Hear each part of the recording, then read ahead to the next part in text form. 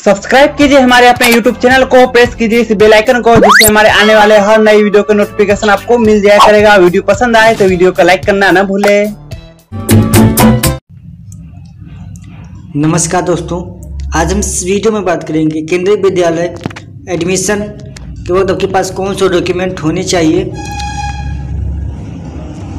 तो आगे video start करने से पहले बताना चाहेंगे, अगर मेरे चैनल को सब्सक्राइब करके नहीं रखें तो सब्सक्राइब ज़रूर कर लें। साथ में बेल आइकन बटन में प्रेस कर दें कि जिससे कोई वीडियो अपलोड के इसका नोटिफिकेशन आप लोगों को मिलता रहेगा।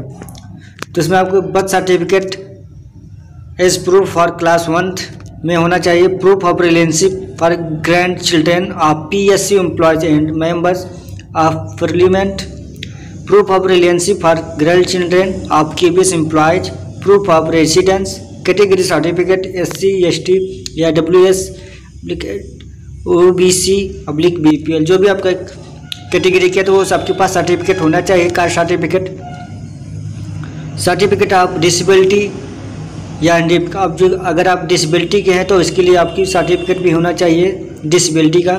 Certificate of retirement of uniformed defence employees certificate showing the number of transfer तो ये इतनी डॉक्यूमेंट आपके समय होने चाहिए एडमिशन के समय।